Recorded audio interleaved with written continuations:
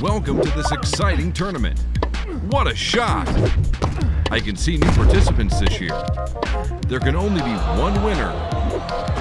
Tennis is also a fashion show. Just look at all these outfits. It's a big challenge for our new competitor. Unbelievable! We've got a new champion.